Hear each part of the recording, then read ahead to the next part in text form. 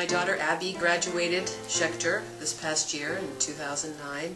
She had a phenomenal time at Schechter. She loved it socially, academically. She was very, very well prepared for her next step.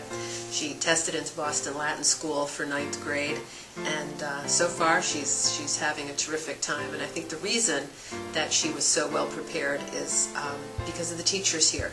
They are extremely professional, extremely personal, and they treat every child um, in such um, an individual way that children here really feel like the teachers care about them, that the teachers know them and their strengths and their challenges, and I think that's what makes Schechter very, very special.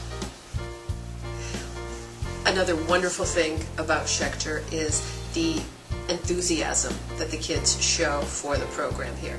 I know my son Asher in the lower school used to run into school. We would open the car door in the morning, he would race up the steps, um, they would say Boker Tov, and he would just get such a warm welcome when he came in, and he couldn't wait to get to school. He really, really enjoyed it, and for, for a mom, that's wonderful to see, um, and that's another reason I love Schechter.